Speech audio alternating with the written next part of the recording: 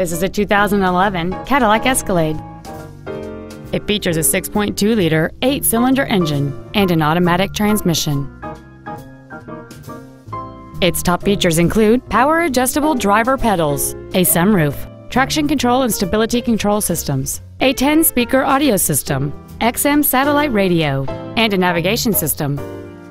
The following features are also included 22 inch wheels, memory settings for the driver's seat's positions, so you can recall your favorite position with the push of one button, cruise control, leather and wood steering wheel trim, a trailer hitch receiver, a rear spoiler, front fog lights, an anti lock braking system, air conditioning with vents for rear seat passengers.